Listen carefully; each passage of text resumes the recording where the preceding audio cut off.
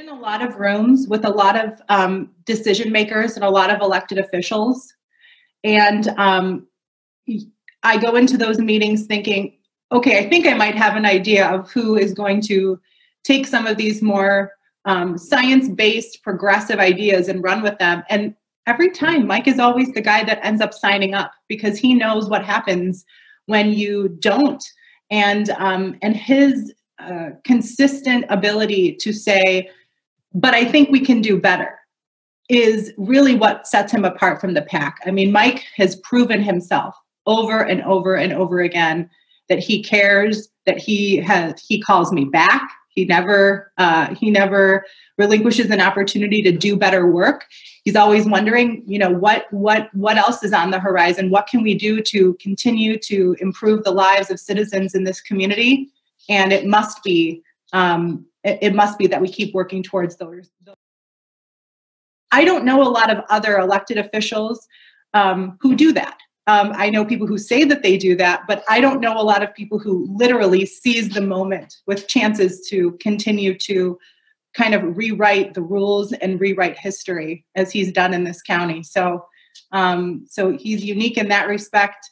And um, I don't know a lot of times, I can't even name one when I haven't called Mike for something and he hasn't um, at least called me back or acknowledged that I have reached out about something, whether it's very, very small or much larger, whether it's meeting with a family or considering a bill to push um, that um, I think his voice would be useful in and, and impactful in, um, he's always gets back to me. And he at least will tell me if he doesn't want to do it, why. So um, he's just got that integrity. And um, what you see is what you get with Mike, that's for sure. It is real, and I can prove it to you. Um, when we started working together, Mike and I, after my brother died from an overdose, which is a really horrific experience, and a lot of he's worked with a lot of families and advocates on many different issues. But on the overdose crisis, Lake County was really not looking good. We were, you know, 10 years ago, we were in a position to being the having the highest overdose rates in the country. And when he got elected in 20, 2012 or 2013, um, he had the opportunity to change it because he knew that there were other people in the community who wanted to change it, the advocates. And he, um, not, because of him, literally, we our, our overdose rates have dropped significantly. And even though we're seeing them rise because of what's going on with COVID 19, um, you can thank Mike Nerheim for the reason why those um, overdose death rates are so low because of the leadership he had in the law enforcement community and in the behavioral health community. I mean, he really put his neck out there in a topic that he wasn't really an expert in and said, I want it, we need to do this and knew who we needed to work with, knew he needed to get the treatment centers and the public health agencies and the, the social work groups on board and and and he's done quite a lot. He has proven to be um, a thoughtful leader. He has proven to do the things he says he's going to do. And he has a really big heart and you can see that in the work that he's done. He's he's found lots of ways to um, consider alternatives to jail and prison, um, while also holding people accountable who need to be held accountable.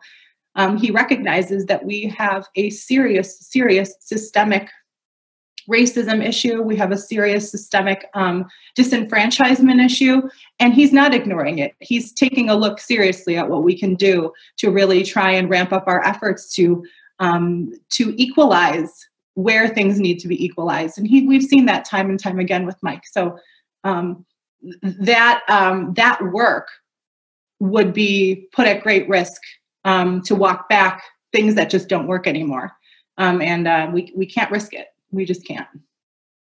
We cannot play games with this election. We cannot take take um, take the risks that aren't calculated. I mean, we we really need to to be serious here. And Mike has, like I said, Mike has proven himself time and again to be not only a thoughtful and compassionate leader, but he's very progressive. He's doing a lot of things that I don't think a lot of Republican states attorneys can say that they're doing. So if we take the politics out of it for a moment and we focus on the record, on the promises, on the on the focus that he has, which is on people and saving lives, you have a person who has definitely proven himself. So we so as like a mom as a, a Democrat, because I, I, I, am a Democratic voter. I, am not a voter in Lake County, I, but I am a Democrat. Um, like I said, I do not know that we can um, just vote on our party every time. So I really just want to encourage voters to really think outside of the normal frame that they would. Um, Mike doesn't write laws, Mike enforces laws. And it takes a creative and special mind to be able to do what Mike has done in a really thoughtful, um, uh, passionate heart that he has for people and for results. And, and so um, you just got to look at his record. It's all there. A lot of people know it. Um, I'm not telling anybody anything new, but the stakes are high in this election. So let's realize that local government matters and Mike matters, and keeping him in his role matters for sure. No, um, I just have lived it. I've lived the Mike Nerheim experience, and it's very real, and we have the numbers to prove it. Um, and I just wish that everybody would do their research and really look into what he's done and his record. I'm Lake County State's Attorney Mike Nerheim, and I'm proud of what this office has accomplished to seek justice with trust, fairness, and integrity for all of the people of Lake County.